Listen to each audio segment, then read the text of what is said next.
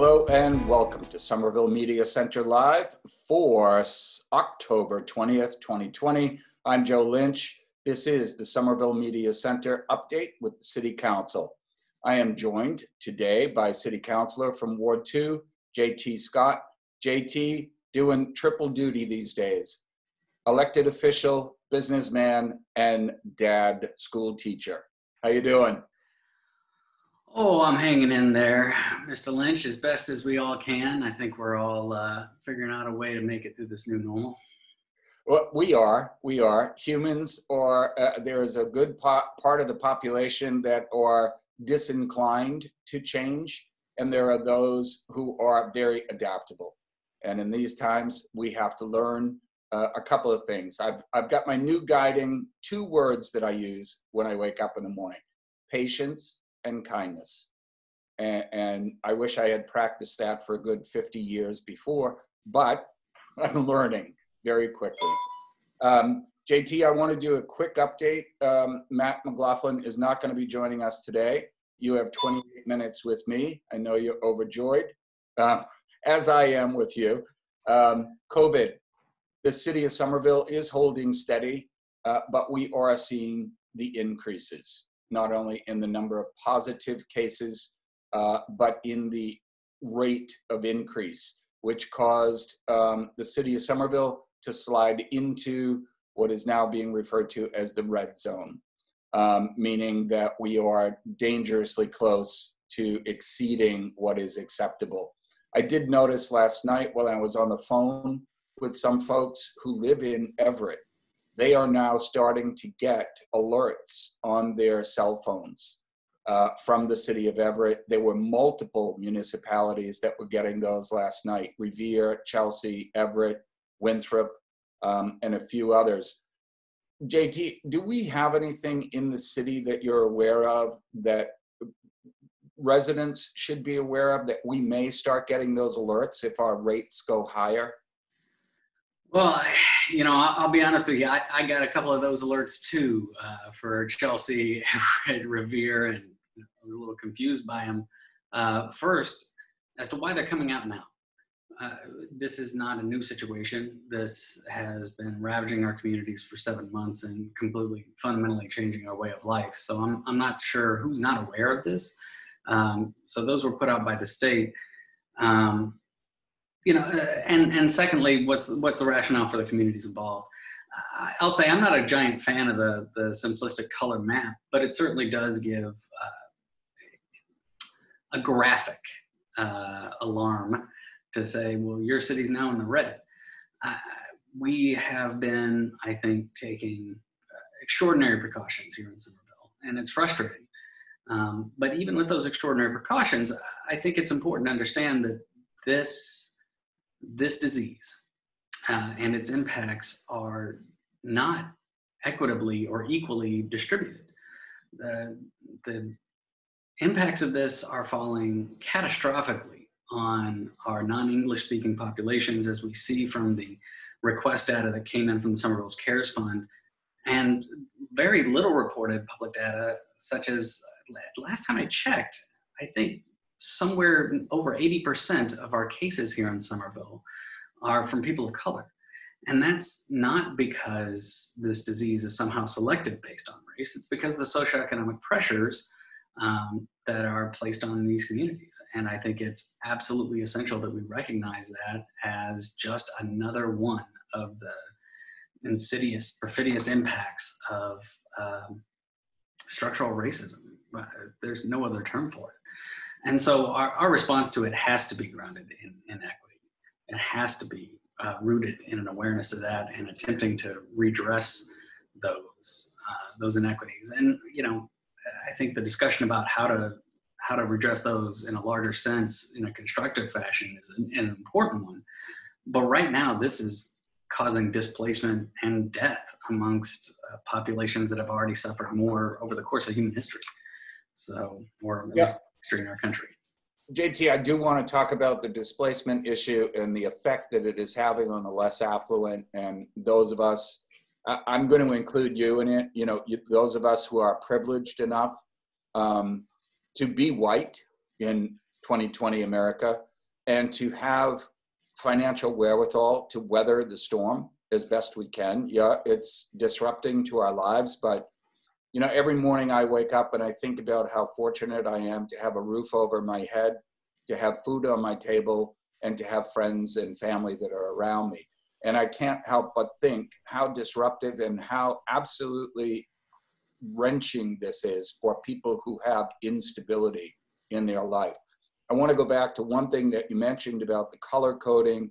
Um, I would I highly recommend that people familiarize themselves with the city um, public health dashboard.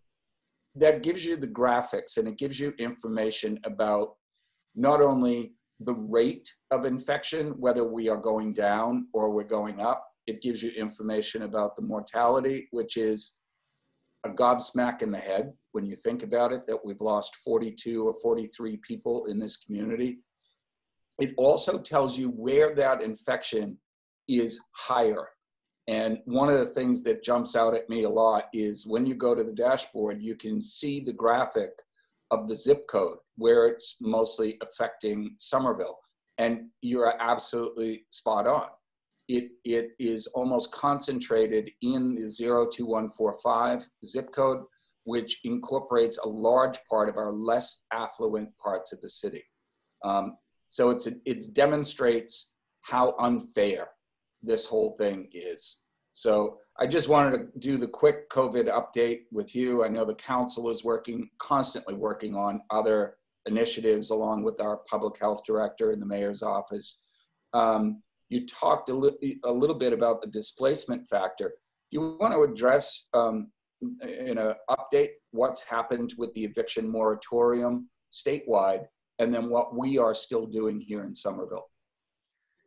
Yeah, I mean, I, I appreciate you calling out the four five. I mean, O2 one four five is has been from the very first time we got uh, zip code level data just a glaring, um, just a glaring problem, and not just in the fact that we are seeing more cases there and a higher percentage of positive cases there, but also that's the area where we have the lowest testing coverage, and all of this goes to you know who has the time to go get tested? Who has access to those resources? Who is aware that the testing program is available?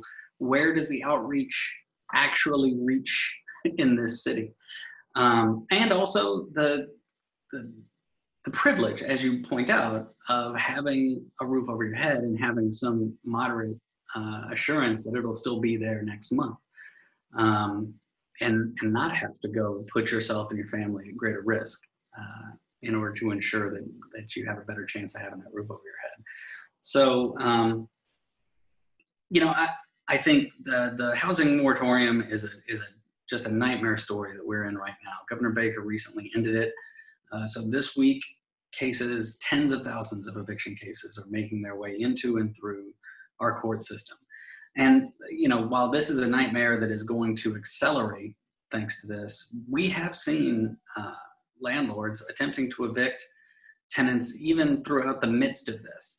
And those evictions are not just illegal evictions where they send somebody over to change the locks on your house, but also the displacement that happens because your landlord raises your rent by 40% in the middle of a global pandemic, or just tells you, hey, look, I'm not renewing your lease, you got to get out. Um, that's it simply flies in the face of everything we know about public health and safety uh, at this time. And I think, you know, outside of my larger views on housing as a human right, even if you don't share those views. Uh, right now, it's inhumane to consider displacing people in the middle of a pandemic and frankly puts all of us at greater risks and slows down uh, the pace at which we can reopen our schools or get this pandemic under control and get it back to normal. So I think what Governor Baker has done here by eliminating the Massachusetts eviction moratorium is just unleashed an even greater wave of legal cruelty uh, and pandemic, just pandemonium that, is going to spread through these communities. It's um, and again, we know we know for a fact based on eviction data who this is going to land hardest on. Um, so I, I, am distraught. Uh, I am, however, grateful for the work of the Office of Housing Stability here in, in Somerville uh, that is actually putting on even more temporary staff, uh, all of whom are at least bilingual, uh, to ensure that we have resources uh, and have caseworkers that can and work with these families to try to connect them to what limited state assistance there is uh, and also local resources. I'm also incredibly grateful for the work of the Somerville, Medford uh, Somerville Mutual Aid. Uh, for those who are interested, that's mutualaidmamas.com. And so that that mutual aid network that's grown since the very earliest days of the pandemic has been providing direct rental assistance to people to keep them in their houses. And right now, the Housing Security Working Group there is uh, collaborating with groups like Democratic Socialists of America and City Life Vida Urbana. Um, there was recently, just last night actually, uh, a teach-in workshop was hosted online about how to prevent evictions in your neighborhood. And that's going to be important as we see this cruelty deployed, um, it is not enough that we have a policy here in Somerville that says you can't physically remove somebody from your home, which is true. We do have a policy which says that the constables cannot come and remove you, but that information isn't enough. Uh, first of all, I'm not sure it'll actually get followed. And secondly, we'd be counting on calling the police to enforce a rule which is in complete opposition to the role police normally play during the eviction process. So what's going to be important is that neighbors see these things happening, know that their neighbors are at risk of displacement, and work directly to keep them in their houses. Uh, understanding how to do that in a constructive and nonviolent fashion is really important. So I'm glad that these networks are out there educating people.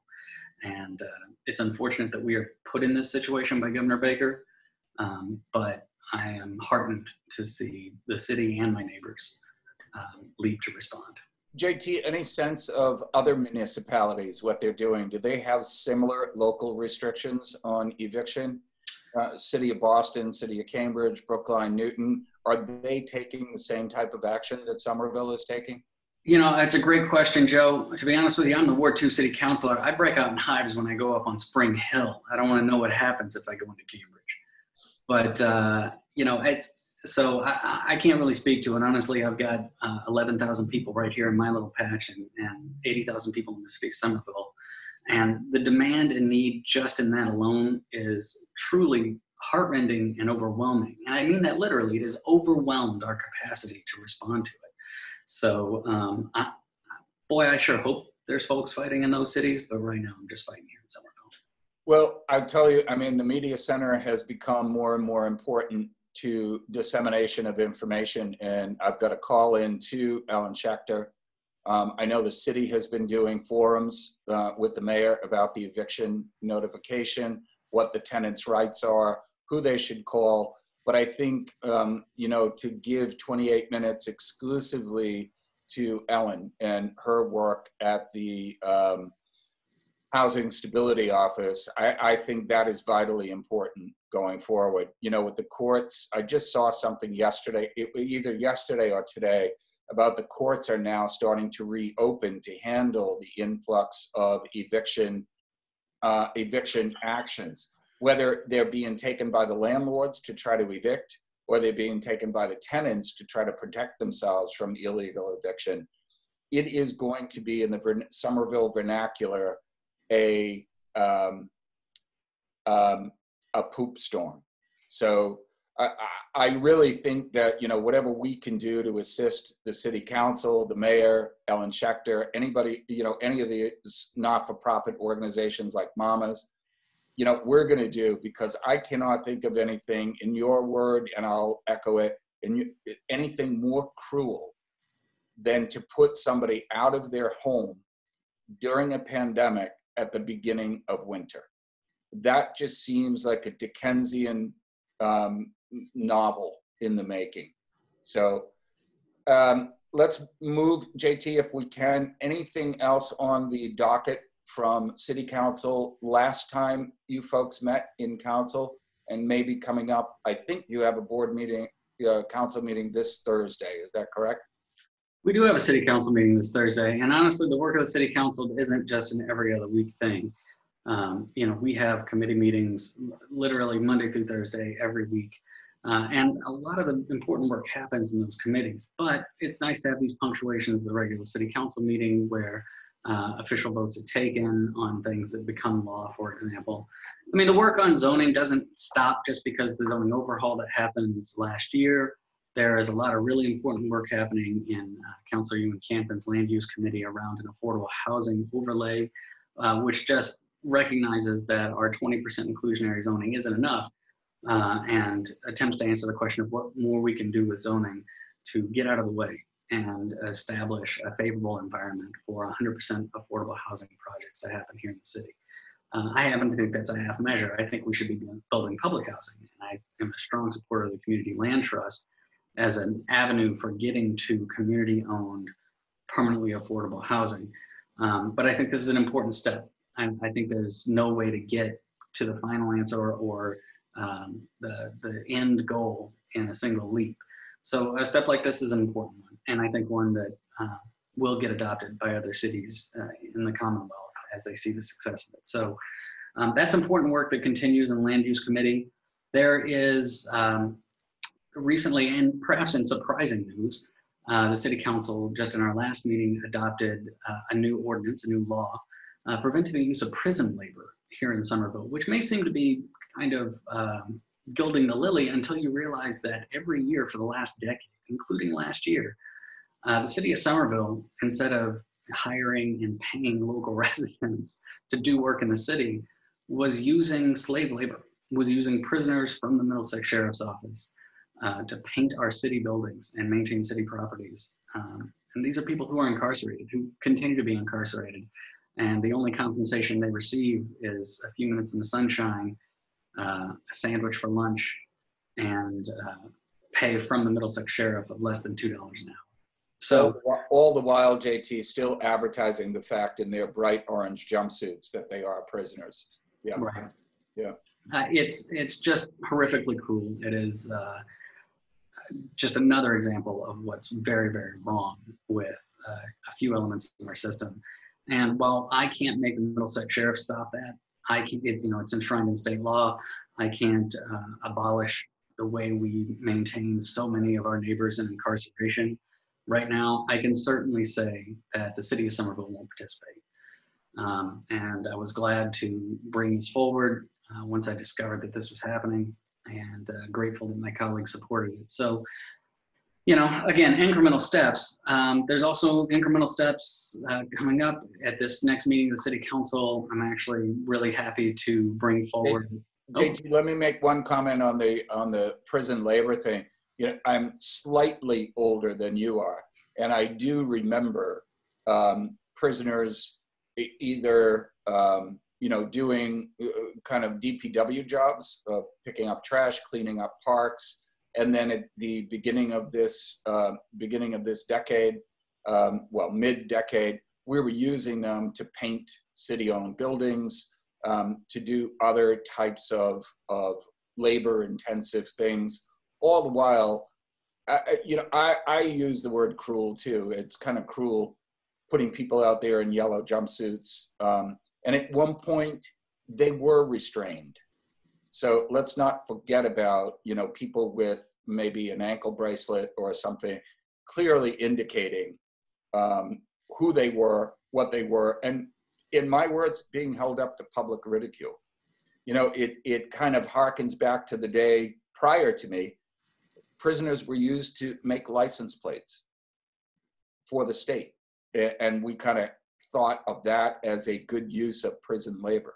Um, I don't know. It's just my thoughts, you know. Well, and it's, you know, I'd say you're right, and this has been happening for a long time, but that that concept of our incarcerated neighbors, uh, the the incarcerated population of Massachusetts as some kind of resource to be tapped for greater productivity, is a sickness. It's a sickness that leads to all kinds of. I mean, if you accept that as your starting premise, then absolutely utilize that resource. And absolutely, it's such a valuable, lucrative resource. You need more of it, right? We need more people in prison so we can have cheaper labor for all these public works projects. That's a sickness. And it not only needs to be stopped, it needs to be called out and completely obliterated. Um, so is as opposed to the real reason for any incarceration, which is rehabilitation. Get them in.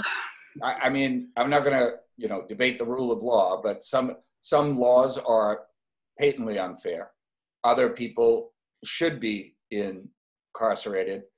But the main objective is not to keep them incarcerated and use them as, in your words, slaves. I mean, the main objective is you've done something that is against the law. We're going to try to rehabilitate you so we can get you out of here and you don't do it again. I mean, to me, it's as simple. It, it, it is more simple in my mind than the actual issue is. It's a very complicated issue. But that, I, I agree with you. You don't be using people for slave labor, period. I don't, I don't care who they are. Right. It, it's tough to find an argument in favor of it, Joe. But I think your point there about, you know, finding out, you know, how to rehabilitate, how to how to prevent a recurrence of this. I mean, ultimately, the best way to prevent violence, the best way to prevent uh, crime that comes out of substance addiction uh, or, or, mental health issues, or even just the desperation that comes from poverty and housing instability, is to improve those conditions. And so that's one of the things that's actually uh, that I'm bringing before the city council this week is a program that is developed. It's um, it's about looking at it's called intercept mapping, uh, and it's a way to look at how people end up in these situations and where they start interacting with the criminal justice system, which again, once they're involved with it, it's a complete nightmare. So a lot of the discussion over the last year here in Somerville is about how to uh, decrease the role and the need for the police department, uh, especially in these situations where sending somebody with a gun doesn't necessarily help improve the situation. And certainly incarcerating someone never improves their situation and the situation of their families. So we you know, this is a this is a really interesting opportunity. It's something that's based out of uh, work that's been happening in the Department of Health and Human Services here in Somerville and in Health and Human Services uh, departments all over the country. But it's an opportunity for us to, to really engage with that thorny question of what does a compassionate system look like that actually tries to improve these material conditions and intercept uh, what would otherwise be a call to the police department with instead a response from a trauma response network or uh, somebody who is informed who can then work with both the people in those situations and with community organizations that are engaged in solving those problems locally rather than putting somebody uh, into a position where they're just going to be slave labor for the next town over. JT, so, JT, it took this country 350 years to get into the mindset that we have now about crime and punishment. And I don't think we're going to solve it in, in 28 minutes that you and I have, but we're certainly, it is a conversation that needs to be ongoing every time we think about crime and punishment. Um, I would like to say it's really mm, maybe a crime and rehabilitation rather than crime and punishment, the way that we've morphed this system. I want to jump quickly because I am going to get short on time. You were talking about anything that's coming up on this Thursday night for the city council's agenda. Uh, well, that's certainly on there. Um, there are also a few uh, big items. Uh, I'll admit to, to being closest to the things in the finance committee just because I'm the chair of that committee. Uh, but there are some large items, um, some large items that are before us, such as uh, an expansion of the funding for the West Branch Library project, which is currently behind schedule, as just about everything is, um, but is also over budget by over a million and a half dollars. Um, and so additional funding and time is being requested on that project, which I think everybody supports and wants to see happen. Um, an additional uh, funding request is being made for Conway Park, which has been declared a Superfund site. Um, the question of whether or not to put artificial turf or grass on there is one that is currently filling my inbox. Um, but the request right now is for just over $6 million for that uh, rehabilitation and deployment of a uh, JT, I'm always interested in Conway Park because I remember the first iteration of trying to rehab that site. What was the price tag the first time? Do you recall? You know, it's a great question, and I have dug for a lot of uh, information data on that, most of which isn't really available. And it's unfortunate because, like you said, this park was redone uh, and not not outside of living memory.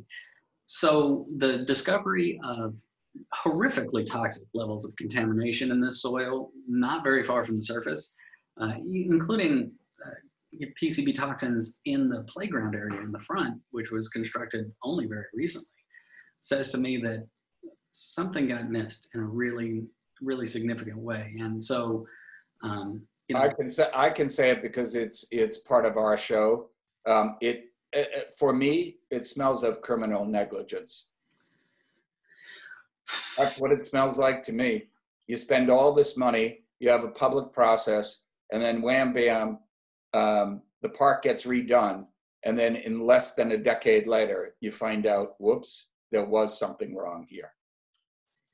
Yeah, I um, I'm I'm not going to go that far, Joe, just because I, I try to be careful. of My it. show, I can say. Um, but I will say it, it is absolutely concerning. And, um, you know, while finding out that is going to be part of a reconciliation process that I think is going to take some time and some dedication to stay with it, to get those answers about what actually happened during uh, the various phases of uh, construction in Conway Park over the decades. I would say right now, the, the crisis that we're facing is a decision that will last for the next hundred years which is whether or not we rehabilitate that field to the lowest possible legal standard, uh, which will only allow for artificial turf to be on that surface until we decide to dig deeper. Or if we're going to take a little bit of extra time and a little bit of extra money right now to ensure that we have a space that's going to be flexible and can be deployed for grass, for trees, for other uh, environmentally sensitive purposes in the future. So that's going to be the big fight that happens tonight in finance committee and will probably happen again on thursday night. But uh, as always no shortage of excitement at the city council. Um, i just hopefully uh, I, I just send my warmest wishes to all my neighbors out there who are just trying to make it work with virtual kindergarten virtual school working from home and uh, keeping their families with a roof over their heads. And that's the most important JT, best wishes on all your work on the finance, on housing, on social justice. Um, thanks for joining me today. thank you joe have a great one We'll see you next time. For the Somerville Media Center Live, I'm Joe Lynch. My guest has been City Councilor Ward 2, JT Scott. As always, stay safe, stay informed. See you next time.